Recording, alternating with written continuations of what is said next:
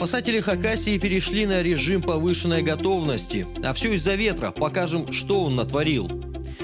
Еще заглянем к минусинцам. Там местная власть начала бороться с цыганским болотом. Здравствуйте, я Артем Михалков. И вот что вы еще увидите в выпуске. Вниз вот такой грохот. Ветер-то был сильный, поэтому мы не сразу ничего и не поняли. А я утром пошла, вот тебе и на. В Белом Яре порывом ветра сломала трубу на котельной. Доставать ли жильцам обогреватели и кто будет чинить трубу? Учителя и работники культуры в трех поселениях Аскизского района до сих пор не получили зарплату за сентябрь. Денег на жалование на последние три месяца года нет.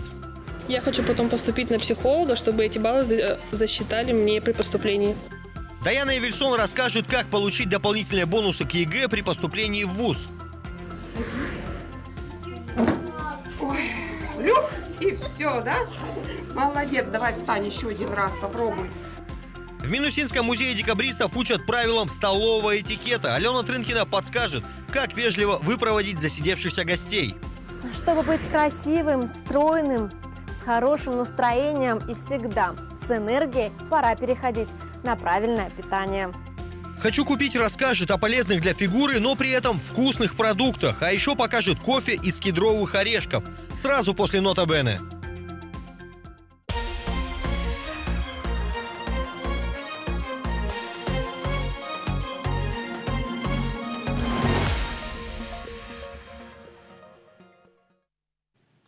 Из-за ураганного ветра сегодня без света сидела часть жителей Подсинева. Накануне без электричества осталось Завидное.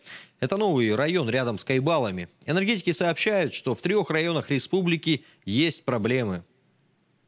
В Аскиском, Бейском и Алтайском Хакас Энерго создала аварийные бригады. Компания приостановила плановые ремонты. Все силы в готовности. МЧС сообщает, что в республике за сутки были пожары, 4 пала травы. Рядом с Июсом потушили полуторакилометровую полосу огня. Отметим, в Хакасе гидрометцентр сохраняет штормовое предупреждение до завтра, 30 октября. Сила ветра 15-25 метров в секунду, местами до 28. В Орджоникидзевском районе до 35 метров в секунду. Это очень сильный ветер. Туристам спасатели рекомендуют не выходить в горы. В Белом Яре ветром сломала трубу на котельной. Подробнее об этом через три минуты.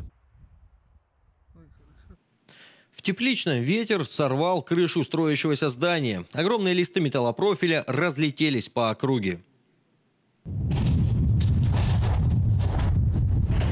В течение часа рабочие собрали все листы металлопрофиля и сложили недалеко от постройки, в основную кучу покореженной кровли. От сорванной крыши никто не пострадал, а вот участку по соседству досталось. Огромный лист повалил часть забора, возможно и хозпостройки пострадали бы, если бы не бетонный столб и металлический контейнер. Они сдержали часть крыши. Рабочие рассказали, что сами все восстановят. Повреждена и машина одного из строителей, разбито заднее стекло. Днем из-за ветра загорелась трава в районе вагонмаша. Видео нам прислали очевидцы в мессенджеры. Пламя здоровенное, капец. Выгорело здесь 2 квадратных километра. Это большая площадь, сообщили в МЧС. Если учесть близость к столице. Пожар потушили к 4 часам дня. В огне пострадали 7 металлических контейнеров, часть из них с вещами. Жители трех сельсоветов Аскийского района еще не скоро получат зарплату. В конце прошлой недели мы рассказывали, что бюджетникам задержали деньги из-за того, что республика не перевела вовремя дотации. В четверг власти заявили, что все оплатили, но деньги, похоже, шли пешком. Только накануне вечером средства поступили на счета района и упали на карточки учителей и работников культуры, кроме тех, кто работает в Базинском, Пуланкольском и Усть-Камыштинском сельсоветах. Глава района рассказал, что рад бы деньги им выдать, только ему это тюрьмой грозит за нецелевое использование. У муниципалитетов закончились лимиты, то есть по закону им никто не может просто так взять и скинуть средства на счета. Они, кстати, заблокированы. Тут нужно вмешательство Коновалова, чтобы он написал постановление или любую другую бумагу о дополнительном финансировании сельсоветов. Мы вчера были у Миронова. Значит, э, мы написали письмо на встречу с Коноваловым, чтобы довести ситуацию, потому что ранее все письма писали, ответа мы не получили, все районы. Теперь хотим встретиться. Он э, уехал в командировку, его до конца недели не будет. То есть на следующей неделе переносим. А проблема-то остается. У нас терпимо. Товсы позвоните. У них там ситуация критическая. Им надо помогать, больше не аскизу. Если в Аскизе только часть сельсоветов осталась без средств, то Таштыбский район такой весь. Там деньги на зарплаты бюджетникам искали сами, за сентябрь выдали в конце прошлой недели. Но с финансами все сложно. А все потому, что так был принят бюджет этого года, говорит глава Аскизского района. Он сформирован на 8 месяцев, поэтому главы забили тревогу. Ведь впереди еще три зарплаты. А Брэк Челтыгмашев говорит, предстоящий бюджет планируется не лучше. Спросить Валентина Коновалова про зарплату не могут не только главы районов, но и сами жители. Прямую линию с главой Хакасии, назначенную на 31 октября на губернаторском канале, отменили. Коновалов улетел в Калининград на Госсовет. Президент вместе с главами регионов и членами правительства обсудит проблемы здравоохранения, в том числе нацпроекты, качество и доступность медицины, нехватку врачей в больницах. Заседание как раз 31 числа, поэтому прямую линию Коновалова перенесли. Причем уже второй раз. Изначально отвечать на вопросы жителей глава Хакасии планировал 24 октября, но не смог. Совпадение или нет, но именно в этот день выяснилось, что бюджетники Аскизского района две недели сидят без зарплаты. Предварительная дата новой прямой линии – середина ноября внимание на эту проблему. Николаю Булакину присвоили звание почетного гражданина Абакана. На сегодняшней сессии Горсовета депутаты проголосовали единогласно. В скором времени на стене почетных граждан города рядом с мэрией появится барельеф. К новостям вернемся через две минуты и смотрите далее в Нотабене. В настоящий момент э, котельная функционирует на одном котле. Трубу второго основного котла котельная в Белом Яре сломала ветром. Когда начнется ремонт, расскажем. Абаканская мэрия готовит сюрпризы к Новому году. В Преображенском парке в этом году будет еще праздничнее. Правила столового этикета полезны не только для детей, но и для взрослых. Особенно для тех, кто любит засиживаться в гостях. Алена Трынкина расскажет, как по-дворянски выпроводить засидевшихся гостей. Она сегодня побывала на полезном мастер-классе в музее.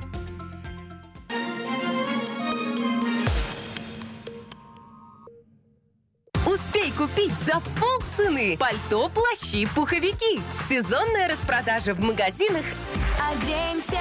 Чертыгашева, 89. Смотри, какой выгодный процент Финанс Инвест. И что, не врут? Сбережения так быстро растут? Не врут. Мы в прошлом месяце холодильник новый купили на выплаченные проценты. Сбережения под 12,6% годовых. Деньги должны работать. Дружбы народов 10. Меховая выставка «Зимняя сказка». Цельная норка 39 тысяч рублей. Скидки 50%. Абакан. С 28 октября по 3 ноября. ГЦК «Победа». Легенды возвращаются. 2 ноября в Абаканском дворце молодежи долгожданный юбилейный концерт «Виа Синяя птица». Билеты в кассе АДМ.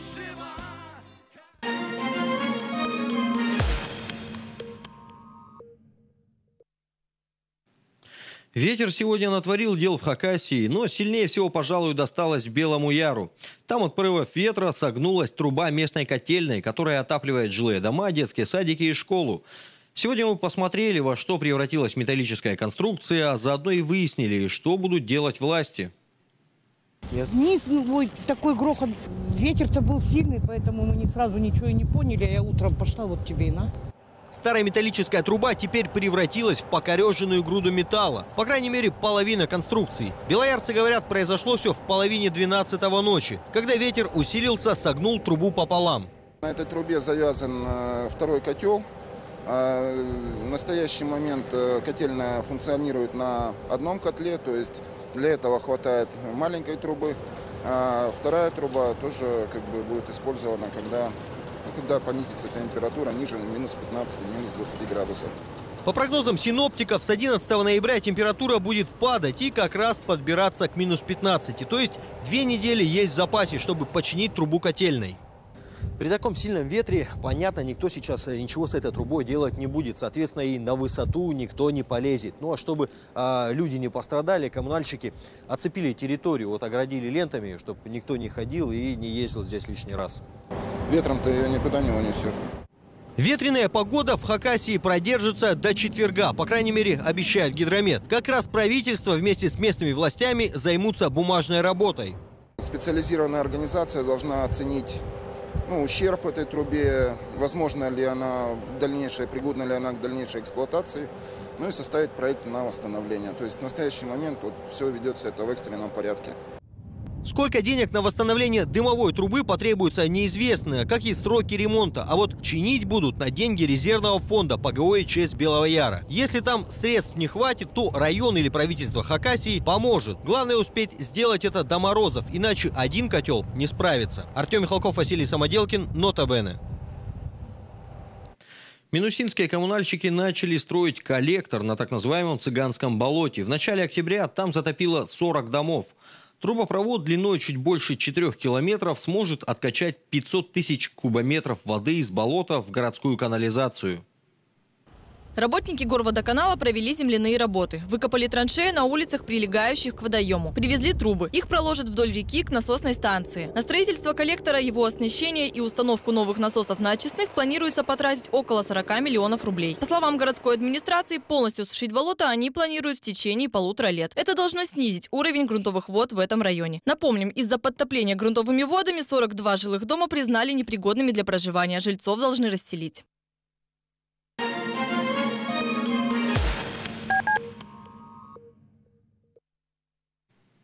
В Авакане полиция поймала вора-форточника. Он влез в магазин через окно, но в кассе было немного выручки. Видимо, поэтому мужчина прихватил с собой еще и микроволновку, которой пользовались сотрудники. Ему грозит до пяти лет тюрьмы. Далее еще пять коротких новостей.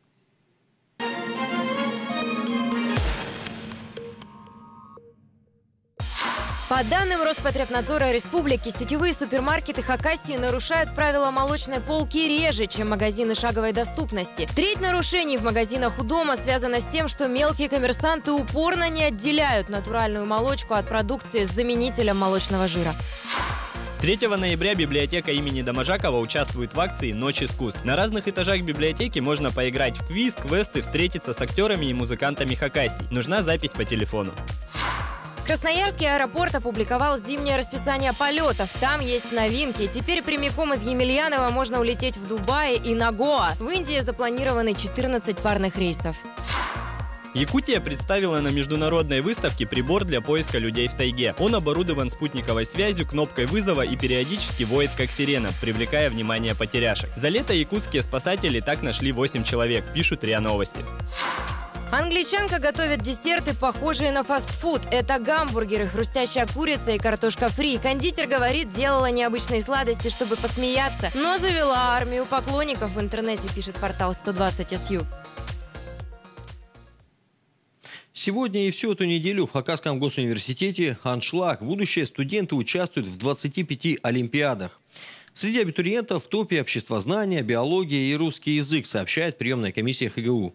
Школьники и студенты колледжей и техникумов Абакана чаще всего выбирают эти предметы, чтобы заработать дополнительные баллы к ЕГЭ.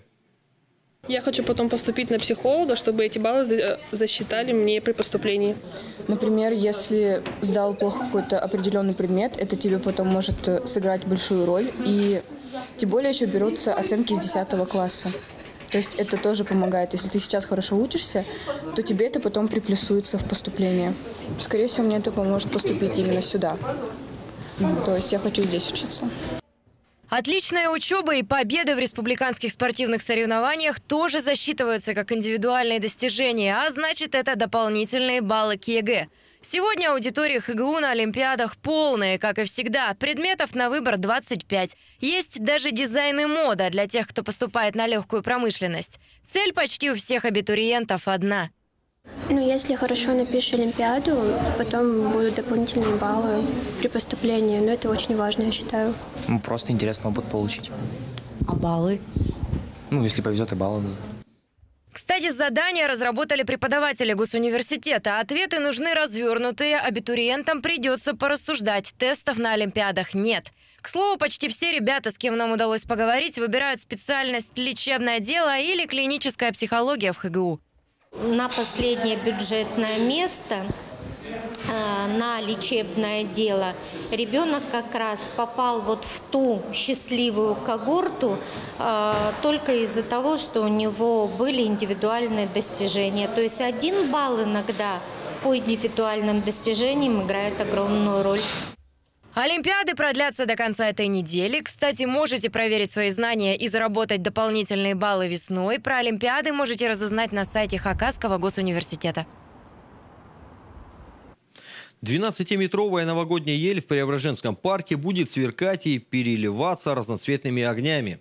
Парковое хозяйство Абакана в этом году украсит ее иллюминацией. Рождественский каток в парке коммунальщики тоже зальют. Они начнут собирать праздничные елки в городских парках в начале декабря. Ель в Черногорском парке по-прежнему останется самой гигантской в городе – 25 метров. Ее каркас будет обрастать ветками в несколько этапов. Верхушку дерева украсит характерная полутораметровая звезда. В Комсомольском парке ель в два раза ниже. Ее парковое хозяйство соберет на чаше фонтана. Что касается светодиодных подвесок, то на Щетинкина в этом году их будет больше. Они растянутся до улицы Крылова, говорят в мэрии Абакана. Трехлучевыми гирляндами засветятся и деревья на разделительной полосе по дружбе народов. Коммунальщики за выходные их подстригли. В Саяногорске «Русал» интересно и весело расскажет о науке. Там пройдет фестиваль с 31 октября по 2 ноября. Главное событие будет 2 ноября в Доме культуры «Визит». Посетители увидят яркие химические опыты, особое внимание свойствам алюминия. Организаторы анонсируют выставку на тему «Путеводитель по науке». Будут тематические зоны с экспонатами разных научных эпох, от орудий древнего человека до виртуальной реальности. Параллельно с выставкой пройдут научно-популярные лекции, где расскажут о сонных мифах. Например, можно ли спать по 15 минут в день. Это третий научный фестиваль «Русала» в Саяногорске. В Минусинском музее декабристов э, детей учат быть дворянами, вести себя за столом, различать столовые приборы и другим тонкостям светского этикета. Алена Трынкина побывала на таком приеме и расскажет, как понять, что обед подошел к концу? А вы знаете правила столового этикета? Да. Вот так в игровой форме мастер-класса учат правилам столового этикета детей в Минусинском музее декабристов. Сотрудники музея облачились в наряды 19 века и в интерьерах дворянского быта рассказывают ребятишкам не только, как сервировать стол, но и вести себя на светском приеме. Садись. Ой, люх, и все, да? Молодец, давай встань еще один раз, попробуй. Сегодня группа второклассников из Черногорска научилась делать белые кораблики из салфеток, отличать столовые приборы и правильно расставлять посуду к обеду. Как встречали гостей и накладывали на стол. Кружку нужно положить на тарелочку, на десятную, которую должны куда-нибудь положить. Вот маленькая тарелочка, туда нужно положить кружку. Ложку нужно положить рядом. Положить вот, чтобы вот это чтобы, которую мы почерпаем сахар, она была в ту сторону. Программа по изучению основ светского этикета работает в музее уже пять лет. И учатся вести себя за столом не только минусинцы, но и жители районов Красноярского края и в Хакасии. Здесь все в стиле традиций дворянской культуры. Но главная цель музейщиков не научить различать вилки, а показать историю декабристов. В помощь учителям, потому что не всегда на уроках можно о чем-то рассказать. Да и здесь, в музее, вот в этой среде, это более э, лучше воспринимается и лучше запоминается детьми. Когда ребенок попадает вот в эту среду, э, то эта сама атмосфера, она способствует тому, чтобы он собрался, чтобы что-то запомнил и, и потом действовал вот на этих э, правилах. Кроме столового этикета в музее есть много и других программ. Например, игры пушкинской эпохи рассказывают о развлечениях XIX века. Правила столового этикета полезны не только для детей, но и для взрослых, особенно для тех, кто любит засиживаться в гостях. Поэтому небольшой дворянский лайфхак. Если хозяйка дома положила салфетку на край стола, это значит обед закончен и пора расходиться по домам. Алена Трынкина, Григорий Сараев, Нота Бена. Внешний вид товара – это его лицо. От качества этикетки зачастую зависит привлекательность продукта на полке. Где в Хакасии можно заказать этикетку, причем не только огромными партиями, но и малыми пробными тиражами, расскажем далее. Любому продукту необходима красивая упаковка. Но люди бизнеса знают, этикетки – дело затратное. А производители корпоративной полиграфии, как правило, соглашаются только на большие контракты в несколько тысяч экземпляров. Такие условия подходят не всем. Например, начинающим предпринимателям удобнее заказать небольшую партию в целях экономии. Опытным игрокам также порой необходимы малые тиражи. Например, для маркетинговых исследований, чтобы протестировать запуск нового продукта. Такая опция стала возможной благодаря появлению в Хакасии нового цифрового оборудования. На Напечатать этикетку на такой машине можно партии от 200 штук. Преимущество а, нашей этикетки как раз в том, что а, мы ее можем печатать в цифре не только на бумаге, но и на а, пленке. Это очень востребовано для тех, кто занимается, у кого на производстве достаточно влажно или они связаны с жиросодержащими продуктами, где этикетка бумажная теряет свой внешний вид. К тому же цифровая высечка позволяет сделать этикетку любой формы, а рулонный формат удобен при наклеивании и хранении. Плюс такие этикетки устойчивы к перепадам температуры. Компания «Эластика» изготовит этикетки тиражом от 200 экземпляров любой формы и цвета. Возможно печать как на бумаге, так и на пленке. «Эластика», «Абакан», «Флотская», 13D. В ночь с 31 октября на 1 ноября жители многих стран мира празднуют мистический Хэллоуин. Облачаясь в страшные костюмы нежити, жители Японии пошли против системы и решили, чем скучнее костюм, тем лучше. Вместо вампиров и оборотней выбирают такие наряды, например, человек пришел на бейсбол и не может найти свое место. Или человек, который купил зонт, а дождь уже закончился. В Хакасии, кстати, зонт завтра пригодится. Ночью в Авакане плюс 3 и осадки, днем 8 тепла. Синоптики также в течение дня ожидают дождь. В Саяногорске ночью плюс 7, днем плюс 9. Ветер слабый. Спонсор прогноза погоды, Центр дополнительного образования и повышения квалификации. Центр дополнительного образования и повышения квалификации открывает набор на курсы «Медицинский массаж», «Лечебная физкультура», «Диетология». Набираются группы. Зайдите на сайт учебный центр 19.рф и узнайте больше. Абакан, Хакаска 56, дробь 2, телефон для справок 22 57 54. Таким был рабочий вторник. Если у вас есть чем поделиться с жителями Юга Сибири, пишите нам, присылайте фото и видео в WhatsApp, Viber или Telegram по номеру 8 923 020 77 00. Звоните в редакцию 222 700. На этом у меня все. До встречи.